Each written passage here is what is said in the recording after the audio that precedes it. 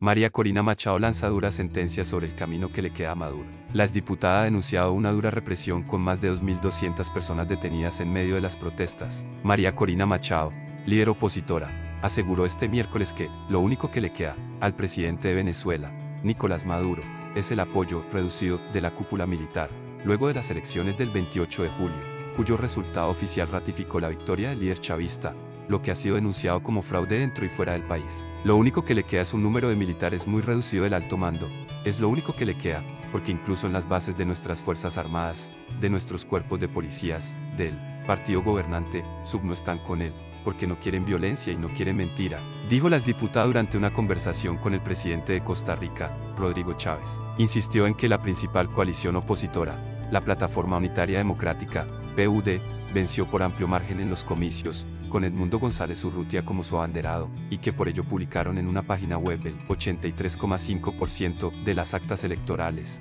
que son las pruebas de la victoria. Machado pidió a Chávez que les ayude a pensar nuevas iniciativas diplomáticas para aumentar la presión al gobierno, que, en vista de las protestas contra el resultado electoral anunciado, ordenó extremar el control policial y militar para enfrentar lo que consideran un golpe de Estado cibernético. Hay que acoplar y coordinar todas estas acciones de la comunidad internacional para que el régimen sepa que aquí nadie va a convalidar esto y que el mundo sepa que aquí no estamos pasando la página. No podemos dejar que esto se extienda, sostuvo. La exdiputada, la principal valedora de González Urrutia, denunció que desde el 29 de julio, la represión ha sido brutal, en Venezuela, donde más de 2.200 personas fueron detenidas y 24 perdieron la vida en el contexto de las protestas, algunas devenidas en hechos de violencia. Además, reiteró que, ante el silencio del Consejo Nacional Electoral, CNE, que sigue sin publicar las actas que certifican la victoria de Maduro, lo que viola la normativa legal, si el chavismo presentara papeletas que validen el triunfo de Maduro, esas serán las pruebas del fraude, pues recordó que estos documentos tienen indicadores de autenticidad inviolables.